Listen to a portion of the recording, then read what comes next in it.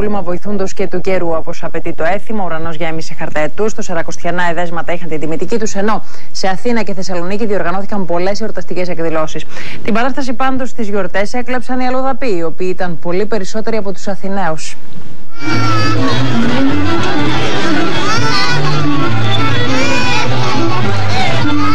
Κούλουμα αλλά ελληνικά με όλες τις φυλές του κόσμου κάτω από τον Αττικό ουρανό.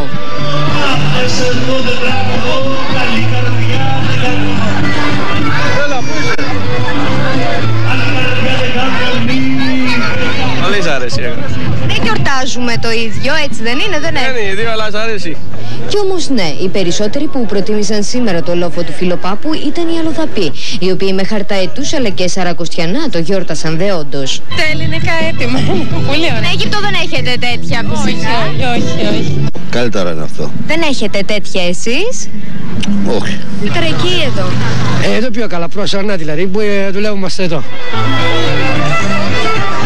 Στη σκία των δέντρων βρήκαν καταφύγιο και όσοι Έλληνες προτίμησαν να μείνουν την καθαρά Δευτέρα στο κλεινό Νάστη. Χταποδάκι, σουπίτσες, χαλβά, μαρουλάκια, ελίτσες. Ωραία είναι η μέρα και βλέπω ότι έχει και πολύ κόσμο. Μην ξεχνάμε και την Αθήνα, να θυμόμαστε την Αθήνα, έτσι, μην την ξεχνάμε. Εάν πηγαίνετε στη σειρά μπροστά,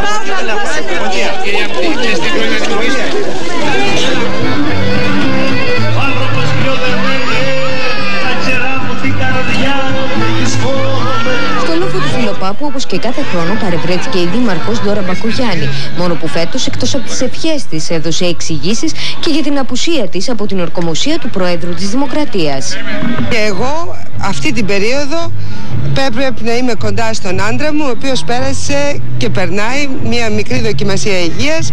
Ο καιρός, η άπνοια δηλαδή, δεν ήταν σύμμαχος για τους Θεσσαλονίκη που ανηφόρησαν στον κέντρινο λόφο. Είδαν και απόεδαν οι άνθρωποι και κατέφυγαν σε πιο σύγχρονες μεθόδους, πιο έξυπνες λύσεις. Έδεσαν μπαλόνια με ήλιον στους χαρταετούς τους και τότε κάτι έγινε. Βοηθάει στο να σηκωθεί αετός λόγω έλλειψη αέρα. Ποιος θα τρέχει, ο μπαμπάς ή ο γιος; Μάλλον ο μπαμπάς. Δεν καταφέρνουμε γιατί δεν έχει αεράκι, κόσμος πολύ είναι.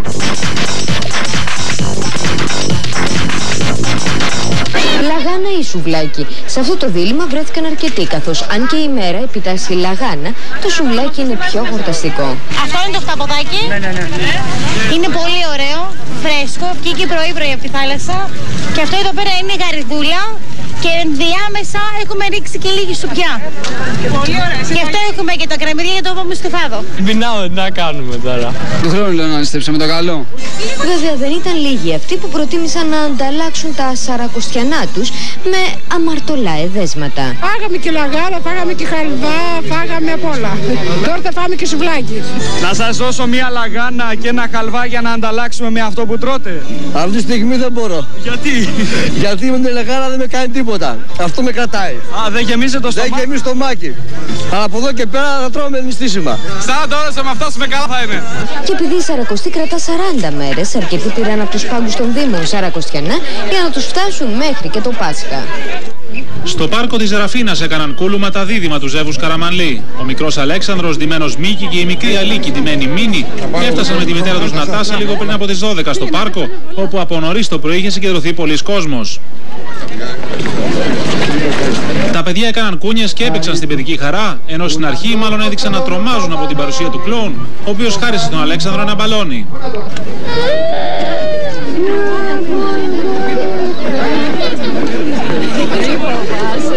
Εδώ σε λίγο θα δεις ωραία πράγματα.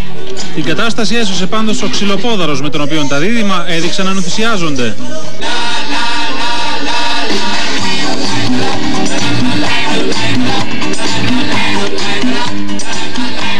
Έπαιξαν για περίπου μία ώρα με τα άλλα παιδιά στο πάρκο και μάλλον δυσαρεστήθηκαν όταν ήρθε η ώρα για να επιστρέψουν στο σπίτι. Αλλαγή κλίματος. Στόχος ενόπλων έγινε οδηγός λεωφορείου στο Μενίδη, οι οποίοι τον τραυμάτισαν στο πόδι.